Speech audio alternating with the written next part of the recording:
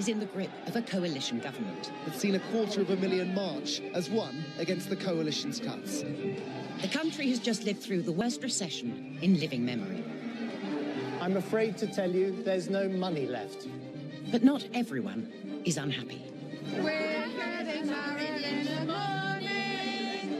Hundreds of thousands more will join this crowd. Many are already settling down for the night. You've even got monarchist socks on. And and the pants to go with it. Prince William and Kate Middleton are getting married. I now announce that the Princess Catherine doll is now on sale. Thank you. Royal collectibles are selling like hotcakes. Even stars and celebrities are joining in. What would I buy them? I would send them some uh, some congratulatory marijuana. What would I buy him? A toaster, obviously. I would send them a ha- beautifully handcrafted, jewel-encrusted bong. Kate's life is about to change forever. The fairy tale wedding of a commoner marrying her prince, very much a reality.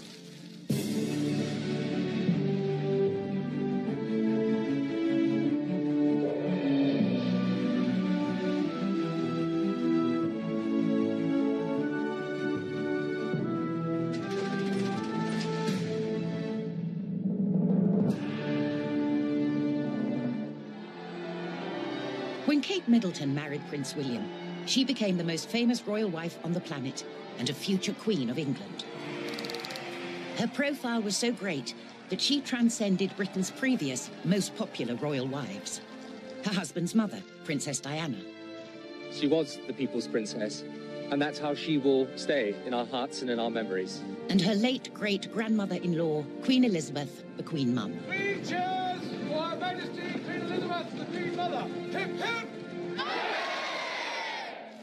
turn of the 20th century, the future kings of England had little choice in their partners.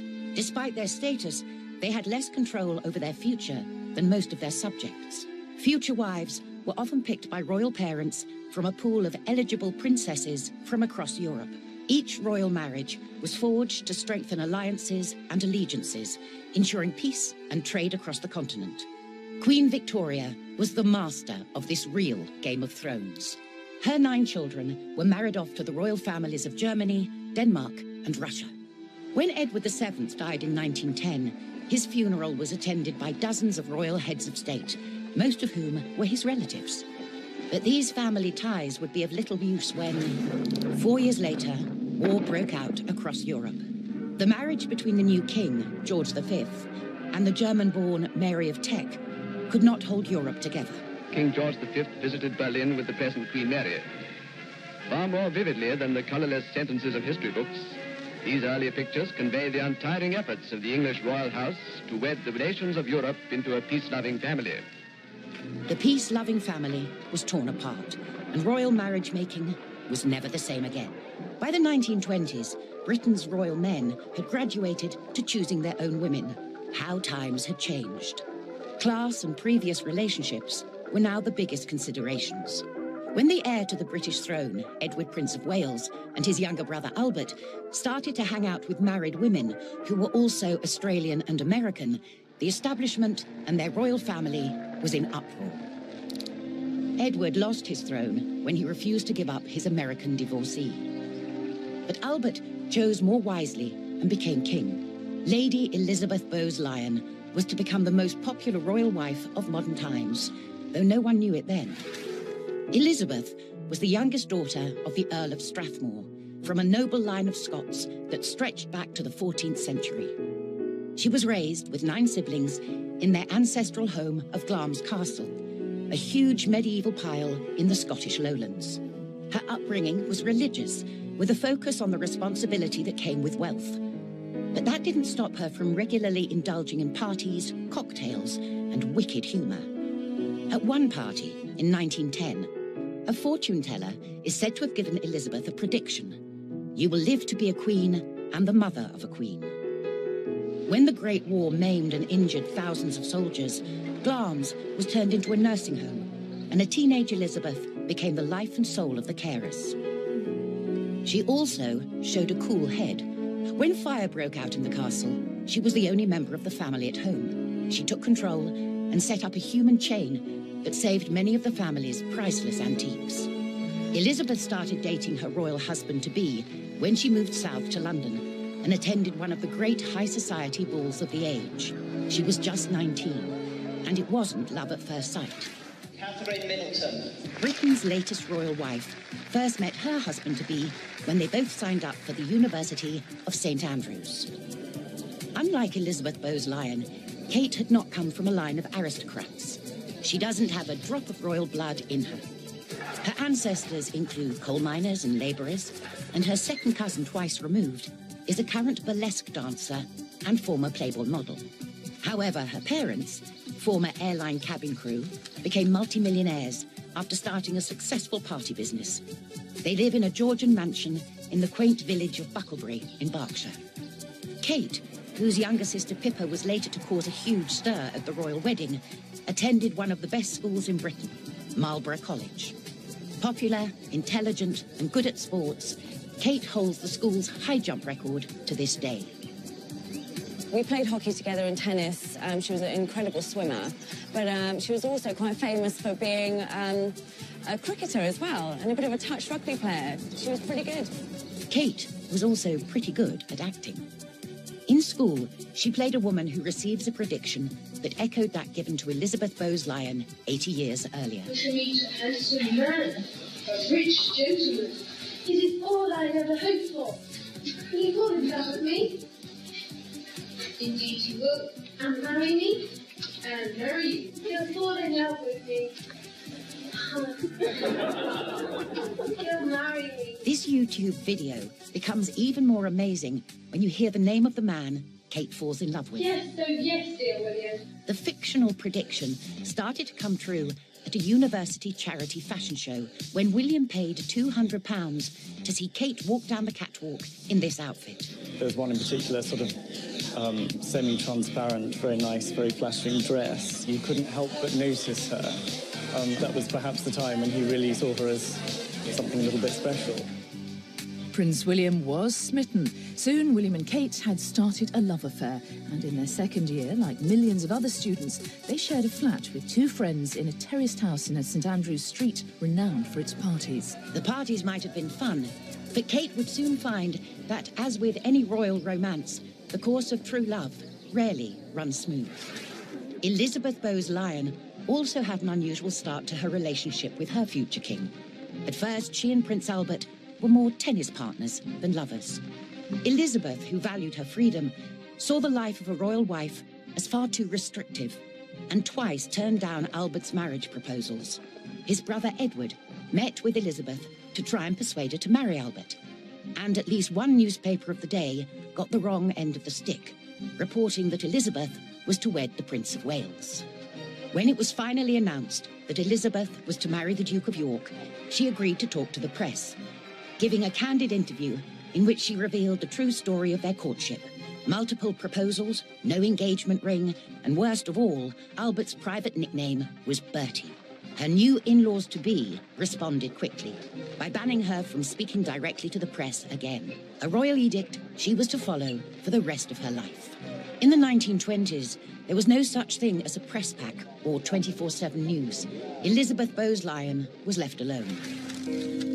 Unlike Kate Middleton in 2007, more of a hunted animal than a potential fiancée of a future king. Britain's paparazzi were now hounding Kate around the clock. Even a fairly average photo of her made the cover of this magazine. And she's not just there through being Prince William's girlfriend. She's there as a fashion icon, as gossip column fodder, even as a role model. It means people are interested in her, and it means people can make money off her. While at official engagements, Kate was to some extent protected from press intrusion, there was suddenly interest in every aspect of her life. Her treatment drew parallels with the way William's mother, Lady Diana, was treated when she became engaged to Prince Charles. How well are you coping with all the press attention? Well, as you you can see, you can tell. Are you, are you bearing up with it quite well, though? Because it must be quite a strain with all of us after you. Well, it is. Prince William would tell her about the life his mother had, the, the trauma she had, the, the stress she had. The one thing that you could say about Kate, that she would think things through for herself. We don't know a lot about Kate. She's kept herself quite protected. She's given no interviews. She said nothing. and it's a model of discretion. But even the model of discretion couldn't second guess the tactics of the press. When she wouldn't talk, they read her lips. It was at Sandhurst at William's passing out parade that Kate made her first official appearance as Prince William's girlfriend. While William pounded the parade ground in front of his grandmother, our lip reader revealed her innermost thoughts to be, I love him in uniform. He's so, so sexy. Not a remark you'd often hear in royal circles. The constant attention of the cameras eventually took its toll, and Kate tried to put a stop to it by complaining officially to Britain's Press Complaints Commission. The photograph in today's Daily Mirror shows Kate Middleton just walking down the street carrying a cup of coffee.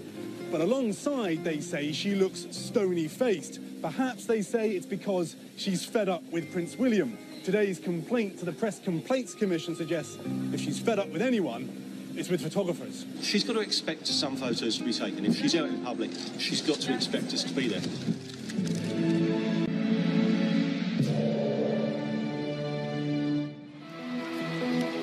Royal weddings are now multi-million pound events, no matter who the bride is or how rich or poor her family really are. For these lavish occasions, the father of the bride cannot possibly afford to pick up the tab. For the newly betrothed couple, the guesstimates are coming thick and fast. The actual cost between 20 and 40 million, with a potential security bill in the tens of millions.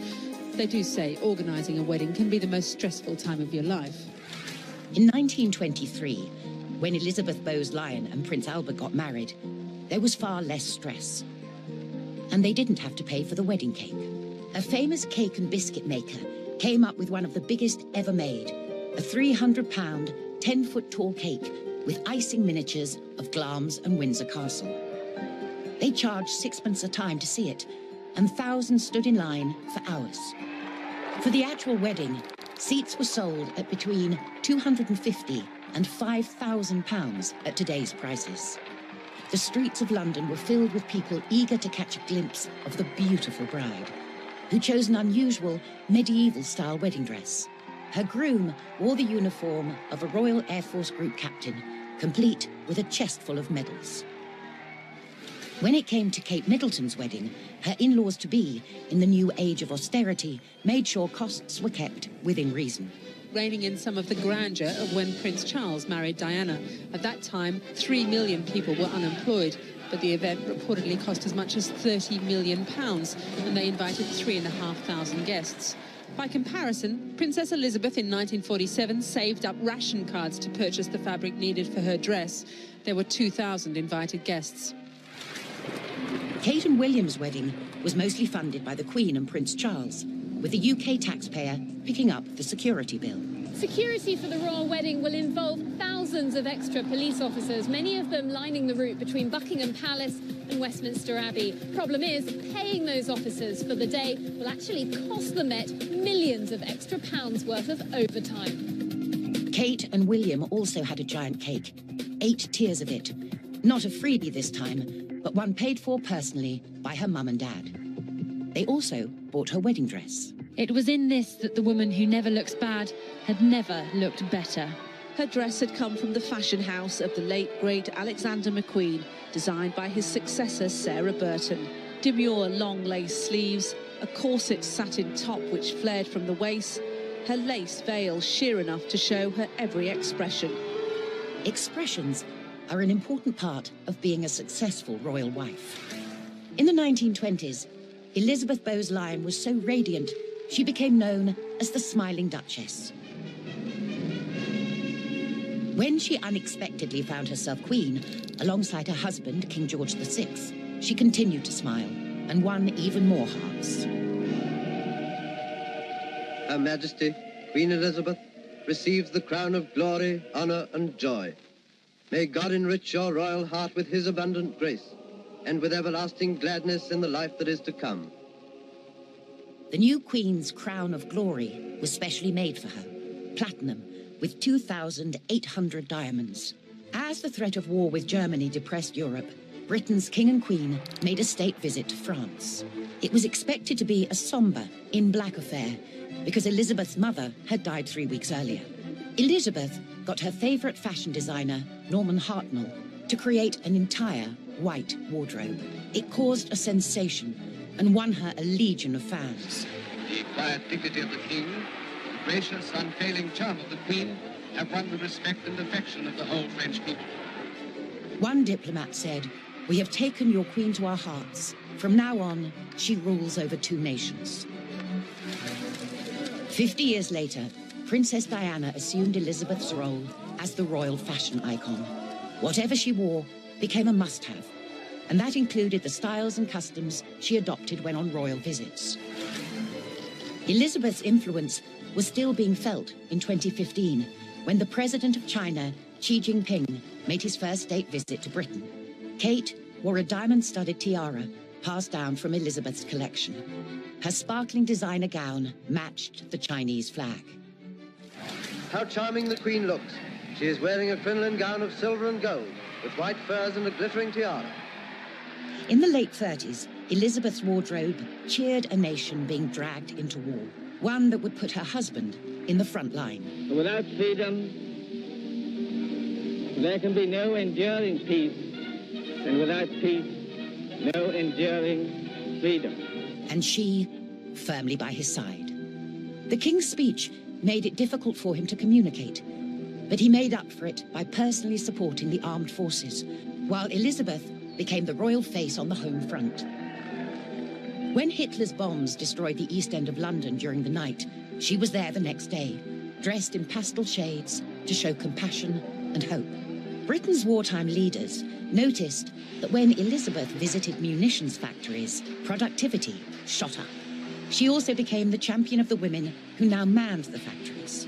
In a hundred ways, you have filled the places of the men who've gone away to fight.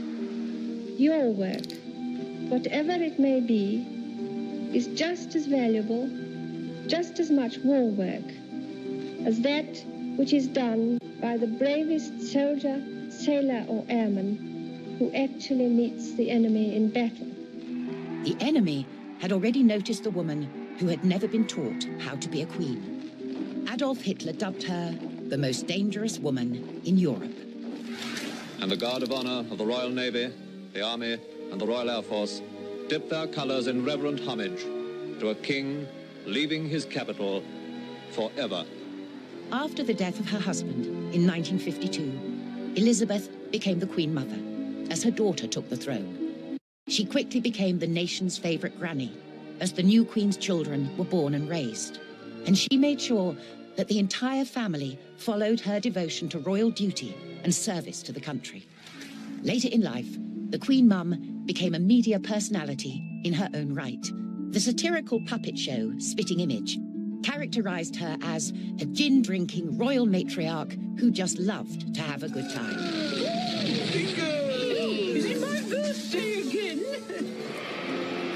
In the year 2000, it was, as she celebrated her 100th birthday, the first British royal to do so.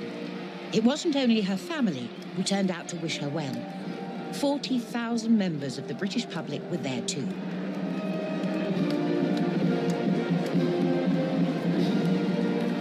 Apart from being Britain's favourite royal for most of the 50 years she was the Queen Mum, Elizabeth was a guiding light for her daughter, the Queen. According to royal insiders, they spoke every single day of their lives. When the Queen Mother died at the age of 101, everyone mourned the loss of a national treasure. When the Queen Mother first became a royal wife, women were still campaigning for equal voting rights. During her lifetime, in bad times and good, she saw massive change. As a royal, Elizabeth was never able to exert political influence. However, she became patron of more than 350 charities, many of them connected to disability or social injustice. Even when homosexuality was illegal, she surrounded herself with gay staff and friends. When a conservative government minister admonished her for recruiting gay people, the Queen Mother replied, without them, we'd have to go self-service. It was her daughter Elizabeth who signed into British law the Equal Marriage Act of 2013. The royal wives who followed her broke many of the royal traditions and protocols she had held dear.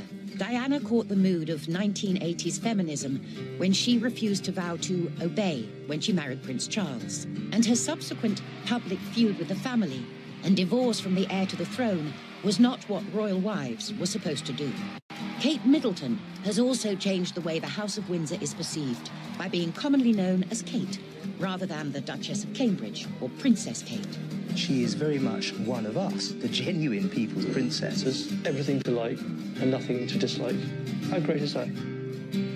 Kate has caused a stir by using her royal status to bring mental health issues amongst children into the forefront of her charitable work.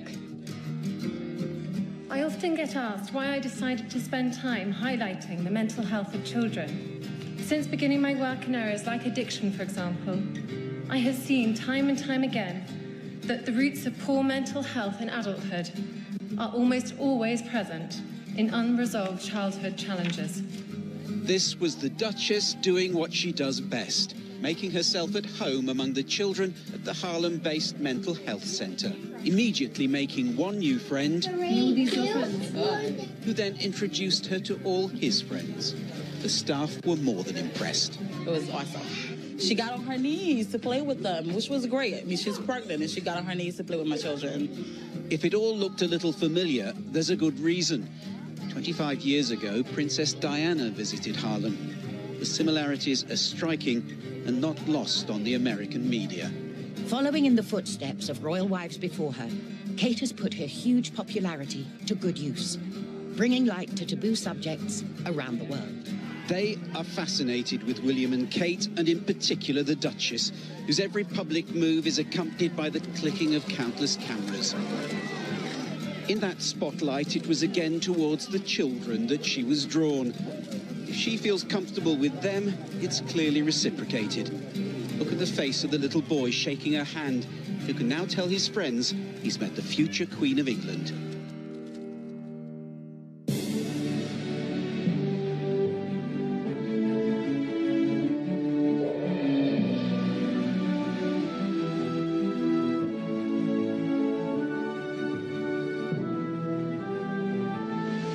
Adolf Hitler dubbed her the most dangerous woman in Europe. And the Guard of Honor of the Royal Navy, the Army, and the Royal Air Force dip their colors in reverent homage to a king leaving his capital forever. After the death of her husband in 1952, Elizabeth became the Queen Mother as her daughter took the throne. She quickly became the nation's favorite granny as the new Queen's children were born and raised. And she made sure that the entire family followed her devotion to royal duty and service to the country. Later in life, the Queen Mum became a media personality in her own right. The satirical puppet show Spitting Image characterized her as a gin drinking royal matriarch who just loved to have a good time. Is it my birthday again? In the year 2000, it was, as she celebrated her 100th birthday, the first British royal to do so. It wasn't only her family who turned out to wish her well. 40,000 members of the British public were there too.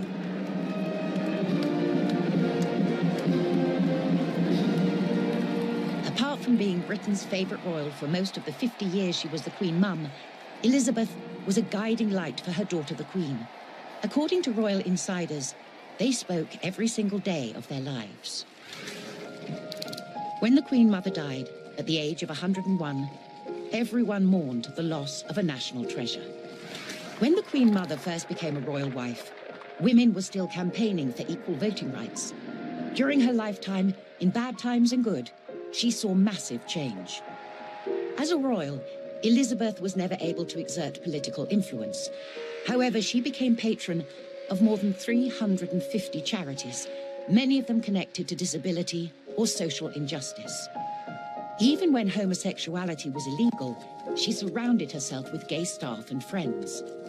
When a conservative government minister admonished her for recruiting gay people, the Queen Mother replied, without them, we'd have to go self-service.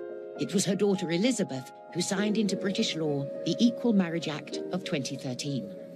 The royal wives who followed her broke many of the royal traditions and protocols she had held dear. Diana caught the mood of 1980s feminism when she refused to vow to obey when she married Prince Charles. And her subsequent public feud with the family and divorce from the heir to the throne was not what royal wives were supposed to do. Kate Middleton has also changed the way the House of Windsor is perceived by being commonly known as Kate, rather than the Duchess of Cambridge or Princess Kate. She is very much one of us, the genuine people's princess. There's everything to like and nothing to dislike. How great is that? Just as much war work as that which is done by the bravest soldier, sailor, or airman who actually meets the enemy in battle. The enemy had already noticed the woman who had never been taught how to be a queen. Adolf Hitler dubbed her the most dangerous woman in Europe. And the Guard of Honor of the Royal Navy, the Army, and the Royal Air Force dip their colors in reverent homage to a king leaving his capital forever. After the death of her husband in 1952, Elizabeth became the Queen Mother as her daughter took the throne. She quickly became the nation's favorite granny as the new Queen's children were born and raised. And she made sure that the entire family followed her devotion to royal duty and service to the country. Later in life, the Queen Mum became a media personality in her own right. The satirical puppet show Spitting Image characterized her as a gin drinking royal matriarch who just loved to have a good time. Is it my birthday again? In the year 2000, it was, as she celebrated her 100th birthday, the first British royal to do so. It wasn't only her family who turned out to wish her well. 40,000 members of the British public were there too.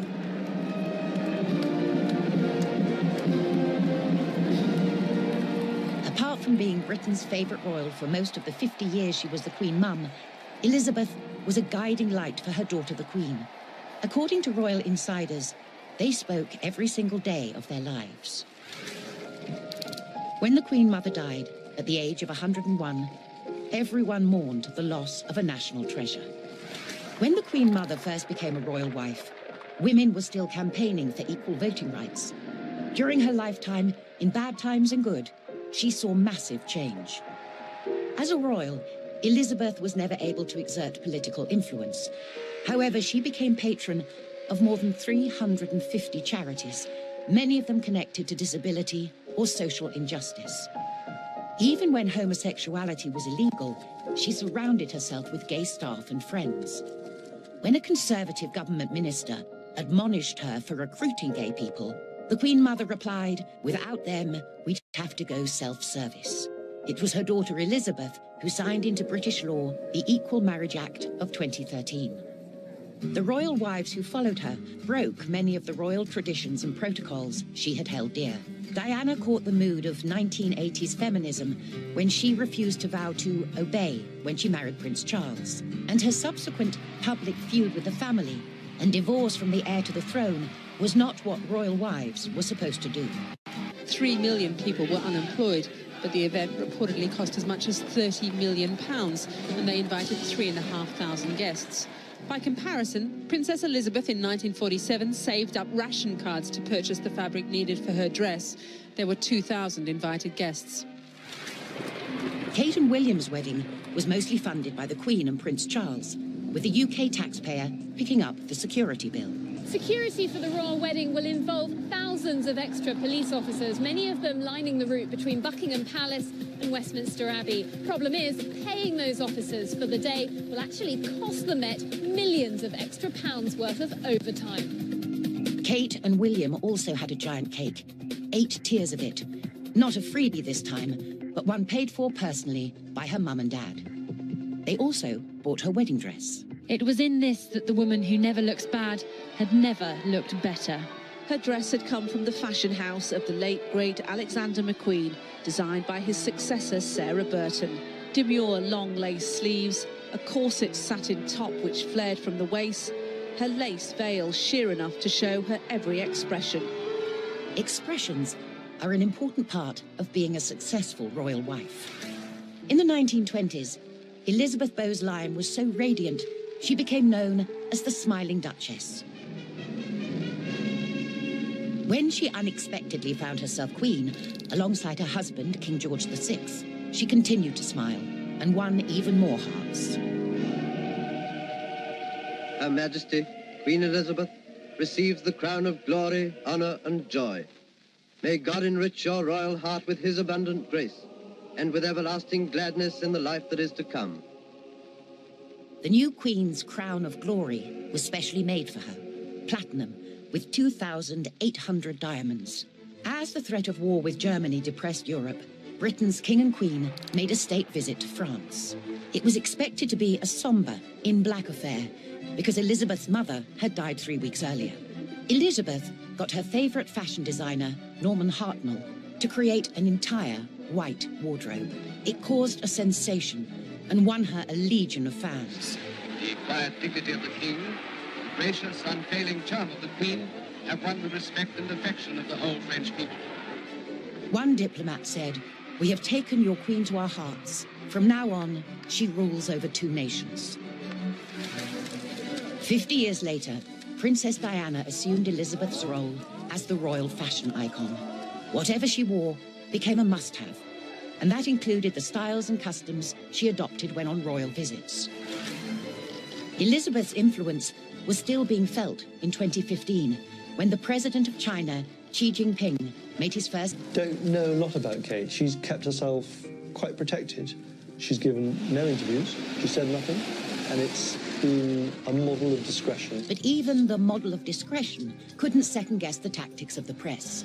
When she wouldn't talk, they read her lips. It was at Sandhurst at William's passing out parade that Kate made her first official appearance as Prince William's girlfriend.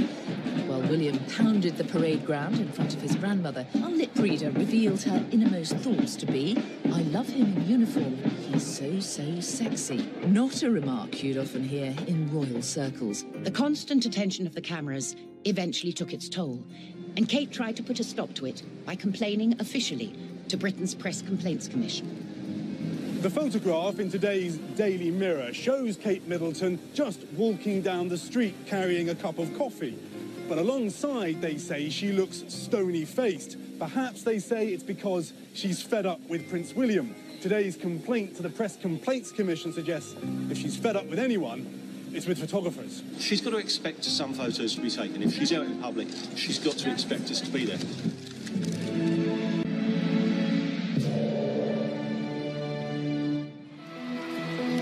Royal weddings are now multi-million pound events, no matter who the bride is or how rich or poor her family really are.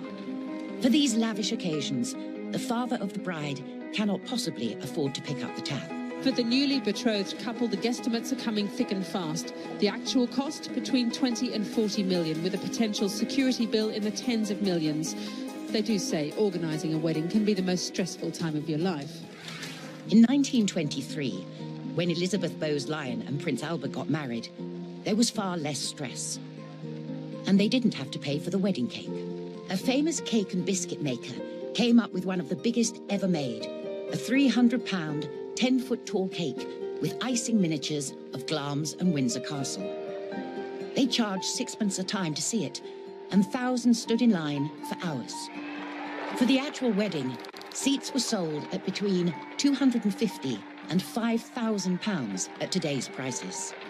The streets of London were filled with people eager to catch a glimpse of the beautiful bride, who chose an unusual medieval-style wedding dress. Her groom wore the uniform of a Royal Air Force Group captain, complete with a chest full of medals. When it came to Kate Middleton's wedding, her in-laws to be, in the new age of austerity, made sure costs were kept within reason. Reining in some of the grandeur of when Prince Charles married Diana. At that time, three million people were unemployed, but the event reportedly cost as much as 30 million pounds, and they invited three and a half thousand guests.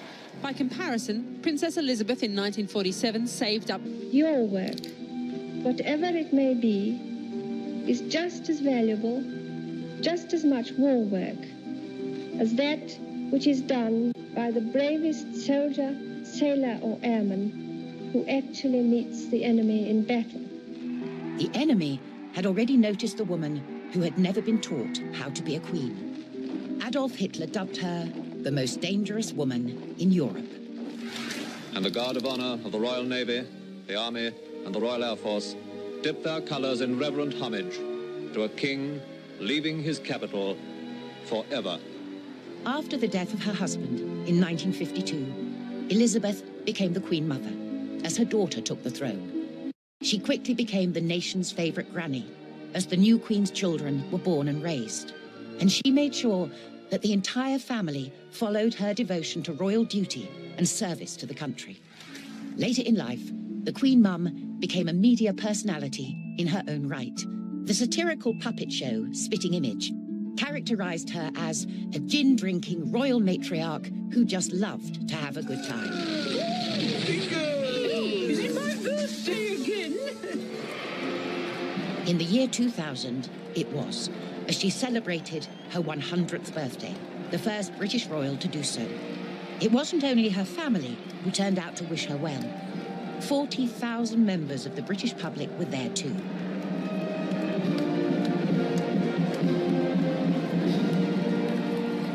Being Britain's favourite royal for most of the 50 years she was the Queen Mum, Elizabeth was a guiding light for her daughter, the Queen. According to royal insiders, they spoke every single day of their lives. When the Queen Mother died at the age of 101, everyone mourned the loss of a national treasure. When the Queen Mother first became a royal wife, women were still campaigning for equal voting rights. During her lifetime, in bad times and good, she saw massive change. As a royal, Elizabeth was never able to exert political influence. However, she became patron of more than 350 charities, many of them connected to disability or social injustice. Even when homosexuality was illegal, she surrounded herself with gay staff and friends. When a Conservative government minister admonished her for recruiting gay people, the Queen Mother replied, without them, we'd have to go self-service. It was her daughter Elizabeth who signed into British law the Equal Marriage Act of 2013. The royal wives who followed her broke many of the royal traditions and protocols she had held dear.